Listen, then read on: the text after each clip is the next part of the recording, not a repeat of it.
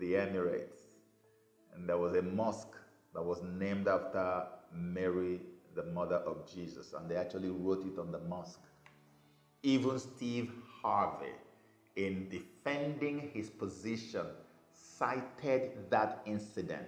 Can you imagine a mosque with the name Jesus on it? Yeah, the world could use a little bit more of that. When I named my youngest son and I gave him the name Ali, I never really understood exactly what I was doing. I had a feeling about it. But now when I look at this name right here, and it says, Mary, the Mother of Jesus Mosque, uh, it kind of gives me a little bit more of the understanding. Maybe it was something I didn't quite know at the time, but now it's starting to make a whole lot more sense. That's his opinion. That's how grossly ignorant of the scripture my brother has been. But still on Oprah, let me show you something else that Oprah did because now we've heard too much of her talking about how that she believes in this. Okay? She now took it a notch higher and decided to speak to the most popular televangelist in the world by the name Joel Osteen. Are there many paths to get to the one God? Well, I believe, Oprah, that there, I believe that Jesus is the way to the one God. But I believe there are many paths to Jesus. You know, you don't know how Jesus would reveal himself to somebody. So I'm not into excluding people. Jesus can reveal himself to anybody. Does that mean that all people, all races, obviously, in your, your, your church, we see all people, all races. I can't imagine that you would have 16,000 people in there and none of them would be gay. So are gay people also included? Absolutely. Anybody is. You know, you know, Oprah, we sometimes make a, I say we, maybe the Christian community makes a bigger deal out of gay, out of being gay, but. Will a gay person be accepted into heaven? as you see it? Well, I believe they will. Well, I believe they will. Joel Osteen also believed that Jesus is the way to the one God, but there are many paths to Jesus. Where are the many paths to Jesus? I want to know. I wish he, she had allowed our pastor Joel Osteen to explain to us what those many paths to Jesus are. He was trying to give a very smart answer to that sensitive question. A question that should be answered unapologetically, straightforwardly. There is one way it's written in the scripture. There are no many paths to Christ. There might be many experiences how you encounter Him, but that's not what He's talking about. He is actually saying the same thing that all of them have said in a totally different way. That smart way of answering the question is not what we need in this time. And I don't have any problem with Joel Osteen. I like him as a person, but a time the time has come for Christians to start hitting the nails on the head. Straight answer, straight cut. Don't try to appeal to anybody. Don't try to please anybody. The fact that you have a lot of homosexuals in your church does not make it right. Even he himself admits that the Bible says that homosexuality is sin. A homosexual who gives his life to Christ can go to heaven. But if you are still living in that sin, you cannot go to heaven. We need to start breaking this thing down and stop confusing people who don't know too much about the scriptures. You cannot live in homosexuality and tell me you're going to heaven. You are a liar. You won't. You have to turn from your wicked ways.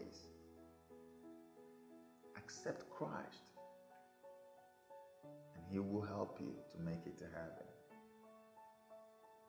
It's not by changing what is written people in the days of Sodom and Gomorrah tried to do these things. They tried to change the scriptures, they tried to change the narrative. It did not save them. The fire still came and burned down the city and the sinful people that overwhelmed it. That same God has not changed. He's still the same God today. We need to have the fear of God as we do this nonsense. All of this is pushing us gradually towards one world religion and to prove to you that this era, this very moment, is the time of the one world religion. I want you to listen, and I've shown this video before, to what happened when the 117th Congress opened with a prayer by a congressman. Listen to his prayer. This was before Joe Biden was inaugurated as president. This same Congress is the Congress he's going to be working with. And they openly, on a global stage, recognized and affirmed the one world religion. We ask it in the name of the monotheistic God, Brahma, and God known by many names, by many different faiths. A man and a woman. This was a clear sign that your one world religion is now born on the global stage. So almost everything you're going to see from now on is going to reflect this massive PR stunt that they are going to launch globally to actually convince the whole world into buying this lie that the one world religion is what we should be embracing at this time. You don't believe me? Okay, let me play you this video. Listen to how the man who prayed during Joe Biden's inauguration ended his prayers. To your glory, majesty, dominion, and power forever. Hallelujah. Glory, hallelujah. In the strong name of our collective faith. Amen. In the strong name of our collective faith. Amen. The Bible says, at the mention of his name, Yeshua, Jesus Christ, every knee shall bow of things in earth and underneath, and every tongue shall confess that he is Lord. At the name of Jesus, at the name of Yeshua. That's the only name we've been given through which we can make prayers and supplications. No other name. And now we hear in the name of our collective faith. By the way, your collective faith is neither a being or a thing, it is an expression. So, who or what is collective faith? Where does it reside? Where, what, where is the address of collective faith? What does collective faith look like? Just so that they don't mention the name of Christ, because the whole attack is on the Son of God. The whole attack began with a common word between us and you, and then removing the name Yeshua or Jesus Christ from every single discussion that has to do with the one world religion because he has been the major, major stumbling block to the formation of the one world religion. So the moment we can delete him, remove him from the equation, uh, then, then leave whatever you call God there so everybody can come under that umbrella. They remove Christ, then everybody's going to be okay. You see, in the name of our collective faith. When he says collective faith, you notice that the guy who prayed to open the 117th Congress prayed in the name of all those collective faiths and mentioned the ones he could mention. And he now said collective faith. Let me now show you something that happened. And this was Florida City Council. They prayed in the name of Satan and Allah and so many other gods at the same. That's what they mean when they say collective faith. I want you to listen to this. Our collective atheism, which is to say loving empathy, scientific evidence, and critical thinking, leads us to believe that we can create a better, more equal community without religious divisions. May we pray together. Mother Earth, we gather today in your redeeming and glorious presence to invoke your eternal guidance in the universe, the original creator of all things. May the efforts of this council blend the righteousness of Allah with the all-knowing wisdom of Satan. May Zeus, the great god of justice, grant us strength tonight. Jesus might forgive our, our shortcomings, while Buddha enlightens us through his divine affection. We praise you, Krishna, for the sanguine sacrifice that freed us all. After all, if Almighty Thor is with us, who can ever be against us?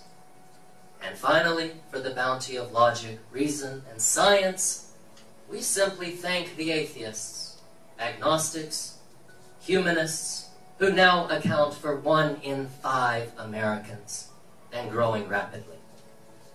In closing, let us, above all, love one another, not to obtain mythical rewards for ourselves now, hereafter, or based on superstitious threats of eternal damnation, but rather embrace secular-based principles of morality and do good for goodness sake.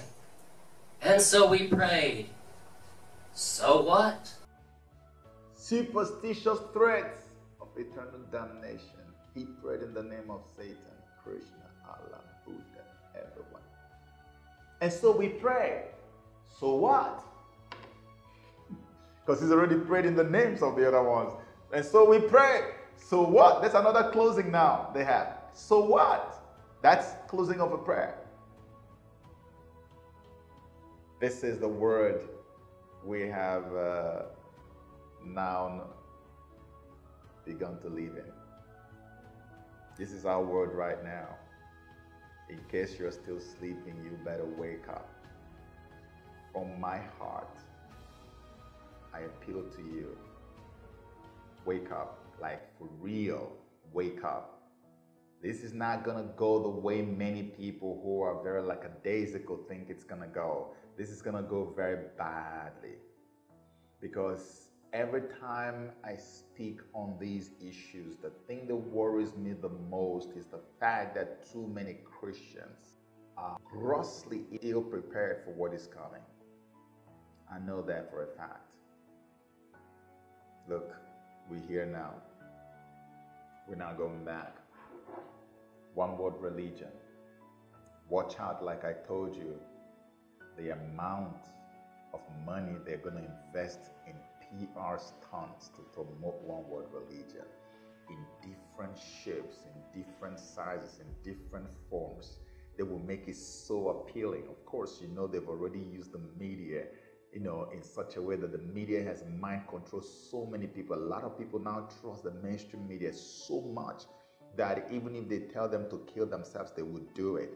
So you can imagine how powerful the tool they have over so many people is now.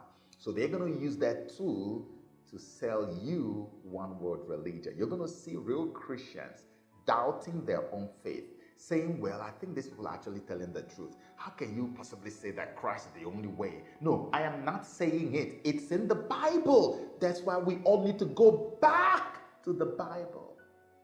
Begin to read your Bible with your family. Read it to yourself. Read it in your study groups. Read your Bible. The moment they can get you not to open the Bible, they have finished you. One word religion is a religion of the Antichrist. Again, go to Revelation chapter 13. It's there. It's there. The beast out of the sea and the beast out of the earth. One is in charge of the global government, global reset, and the other is in charge of the one world religion. The ecumenism that you'll be hearing of, ecumenical centers that you see them building all over the place. I talked about this in most of my videos.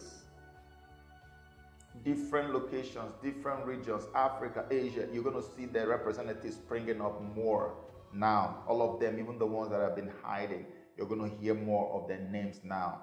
You're going to see ecumenical centers, massive cathedrals built in different state capitals, nation capitals, and people are going to be encouraged to worship together. Muslim, Hindu, Christian, come together. Let's worship. We only worship one God. No, we don't worship one God.